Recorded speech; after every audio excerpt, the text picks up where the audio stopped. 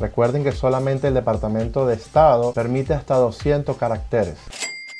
El objeto no es necesario. En los Estados Unidos usted puede tener un objeto totalmente amplio. En inglés le decimos any lawful business, cualquier negocio lícito. Así que usted puede registrar una empresa con un objeto específico si usted lo quiere. Recuerden que solamente el Departamento de Estado permite hasta 200 caracteres. 200 caracteres es lo único que permite para objetos específicos que no es necesario en los Estados Unidos y siempre recomendamos registrar las empresas con el objeto amplio amplio. De nuevo, en inglés se le llama any lawful business.